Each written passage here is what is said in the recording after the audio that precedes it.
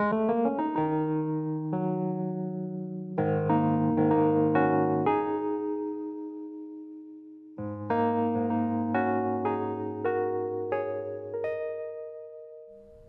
poem is dedicated to uh, a demographic group that has gained great fame in our age. And the title will reveal to you or hint at what is going to be the content. And the title is Boomers. Boomers, boomers, who are you? boomers zooming all around. I thought that I was rid of you, but lemming like you fill the ground. I taught you when you were in your teens.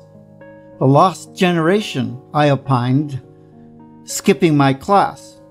No homework done. I felt you left me far behind.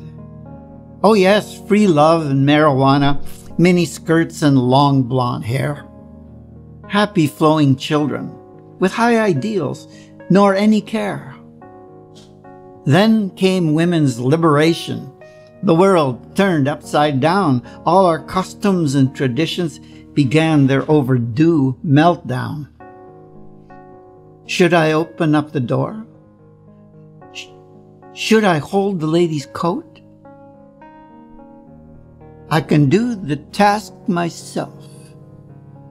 I am equal. Please take note. And all the liberated energy began to change the way we thought.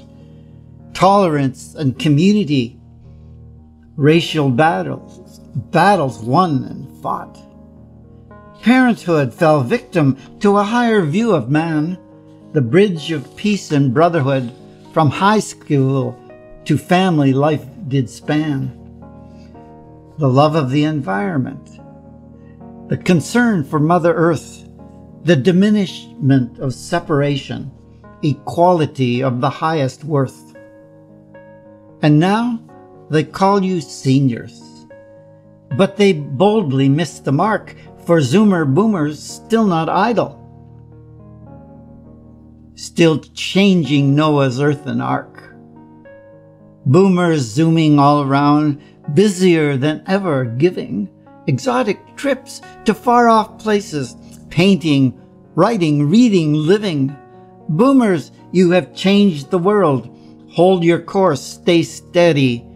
A whole new century lays awaiting Woodstock's generation. I know you're ready.